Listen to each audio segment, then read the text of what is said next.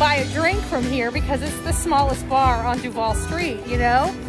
Um, but anyways, as I'm, I'm looking, I'm like, the smallest bar. They saw me pull out, a, and this gentleman walks by and he's like, I'll take a picture. So we got a picture coming.